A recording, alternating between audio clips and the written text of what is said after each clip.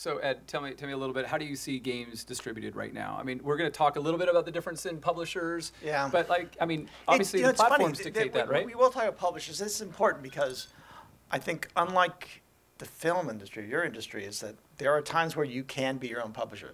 When you see this list, the more expensive those games are, the more risk associated with it. Frankly, you better be walking in with like a big IP that's well known or some big support from a studio, or you better have had a track record of having a hit game yourself. You're not going to get traction with a major major publisher just because you're walking in with an idea. You got to have something behind it that makes sense.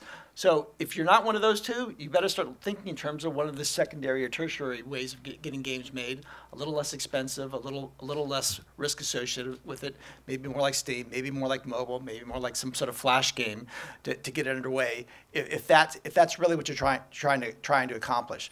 And in those cases, sometimes you actually don't need a publisher. If you can fund it yourself, a publisher is either money or marketing behind you, but there are examples on Steam of people that essentially are self-published. There are self-published examples, fewer or less these days, but there are examples on mobile as well, or you could do it on, on, on Flash too.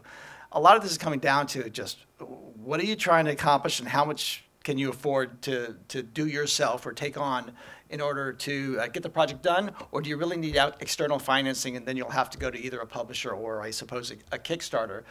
But, but frankly, an original idea just on the back of a napkin, unless you've got some property in the work that's coming out, or you've got a history of having successfully made a game before, it's going to be tough to get financing. Well, and of all the largest console publishers, and in thinking about them, you can count them on one or two hands. How many of those guys have licensed IP as part of their main stable? If you could think Just- about it, Just, just the big ones, right? No, not only- even not even the big not ones even anymore. anymore. Well, I mean, right. it used to Well, be. Can you not consider Warner a big player? I mean, I do as a Well, publisher. I guess, I guess they own their all IP. A little different. Well, like right, EA is obviously putting a lot into the Star Wars Agreed. license. Right, and, and if they are, that's one, right? If uh, Activision had Transformers and Spider-Man, right? But I mean, those are not small IP. So looking at as a producer saying, "Hey, I want to get you know, Activision to go pick up my next film," and they've only got those two, and those aren't really their focus. Destiny and Call of Duty are blowing those away. You know, Skylanders is going to be so much bigger than anything that they're going to do with a licensed property. So managing your expectation, not to deflate it, but to understand that walking in and pitching Activision is not necessarily in your best interest if you're walking in with a five or ten million dollar film that's really cool.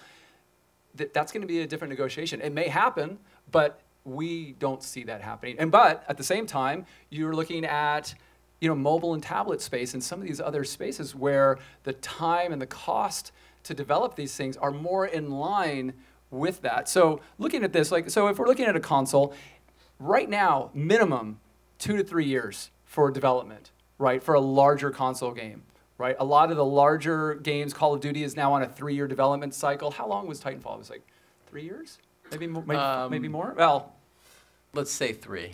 let's say three, right? So if you have a film that's we were a going to little get, distracted with some other stuff in the meantime.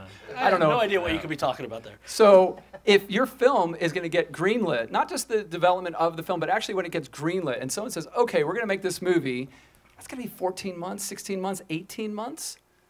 So if I'm greenlighting the film, and then I say, "Okay, game, go," right? And that's assuming we've got a team in place, we've got the technology in place, we've got this idea of what we're going to do, and I've got 14 to 18 months there's going to be a problem. There's a disconnect there, right? And if my film was a 10 or 20 million dollar film and I've got a 60 million dollar video game, that math doesn't make sense.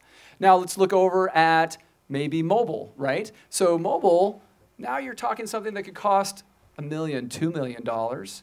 It might only take 8, 12, 14 months.